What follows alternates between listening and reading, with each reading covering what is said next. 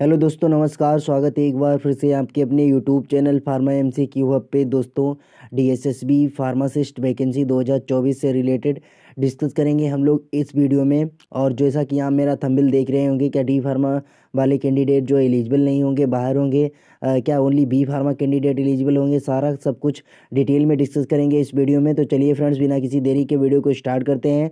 लेकिन वीडियो करने से पहले दोस्तों, चैनल पर पहली बार विज़िट करें तो चैनल को सब्सक्राइब ज़रूर कीजिएगा, क्योंकि फार्मा रिगार्डिंग जितनी भी न्यूज़ वैकेंसी अपडेट्स आती हैं, सबसे पहले आपको हमारे channel pharma M C hub के माध्यम से प्रोवाइड की जाती है। तो जैसा कि फ्रेंड आप सभी लोग जानते हैं डी एस एस बी जो कि Delhi subordinate service selection board है, उसकी तरफ़ से फार्मासिस्ट की तीन सौ अट्ठासी, सॉरी फ्रेंड, तीन सौ अठारह पोस्ट पे फार्मासिस्ट की भर्ती अनाउंस हुई है, तीन सौ अठारह पोस्ट पे, ठीक है? तो उसमें friend general, OBC, ST, SC, EWS अच्छी खासी वैकेंसी यहाँ पर है, तभी जो है तीन सौ अठारह बड़ी वैकेंसी यहाँ पर देखने को मिली है। तो उसकी एलिजिबिलिटी, जो वैकेंसी है दो हज़ार अठारह में आई थी, ठीक है फ्रेंड?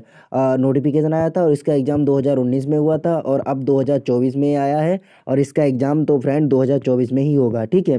तो इसकी जो एलिजिबिलिटी क्राइटेरिया था, उसमें फ्रेंड ऐसा था कि जो 2018 में नोटिफिकेशन आया था, उसमें इन्होंने केवल वी फॉर्म कैंडिडेट को एलिजिबल माना था, ठीक है? B pharm candidate fresher candidate with registered pharmacist आप लोग होने चाहिए, ठीक है?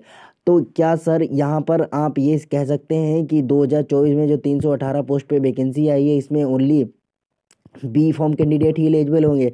देखिए, ऐसा कहना बिल्कुल पॉसिबल नहीं है क्योंकि चीज़ें बिल्कुल बदल चुकी हैं। 2019 और था और 2024 और है।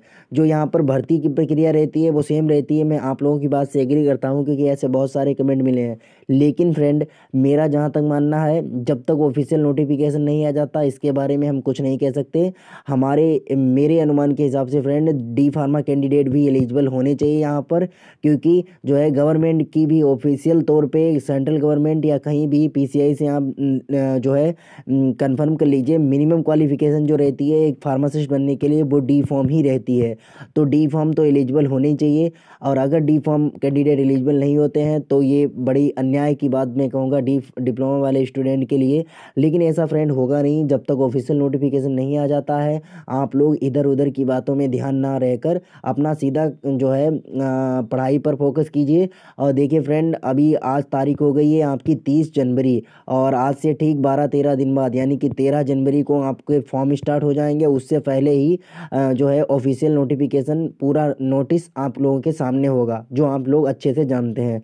तो फ्रेंड, जो तेरह फरवरी से आप लोगों के फॉर्म स्टार्ट होंगे, उससे पहले पूरा सारा कुछ नोटिस आप लोगों के सामने होगा। उससे भी आप एक सीधा साधा आइडिया लगा लेंगे कि कौन से कैंडिडेट एलिजिबल हैं और कौन से कैंडिडेट एलिजिबल नहीं है। तो मेरा जहाँ तक मानना है फ्रेंड, दोनों कैंडिडेट एलिजिबल होंगे। जिन लोगों ने अपना रजिस्ट्रेशन अभी तक नहीं कराया या मान लिया रिनोवल नहीं कराया तो वो लोग जल्दी से जल्दी अपना रिनोवल करा लें और अपना रजिस्ट्रेशन भी अच्छे से मतलब कंप्लीट कर लें, कोई भी ट्रुथ वगैरह ना हो।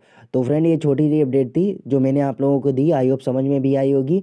अभी मैं आप लोगों को फिर से एक बात क्लियर कर देता हूँ, जब तक ऑफिशियल नोटिफिकेशन आप लोगों का नहीं आ जाता है, ठीक है, जो आपको चार से पाँच दिन में देखने को मिल जाएगा उससे पहले आप लोग इधर उधर की बातों पर ध्यान ना देकर अपना सीधा पढ़ाई पर फोकस कीजिए।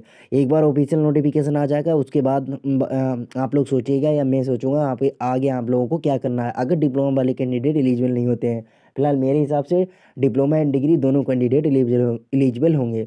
तो चलिए फ्रेंड, आज की वीडियो में हम लोग इतना ही रखते हैं। मिलते हैं नेक्स्ट वीडियो में नई अपडेट के साथ। Thanks for watching pharma M C Q hub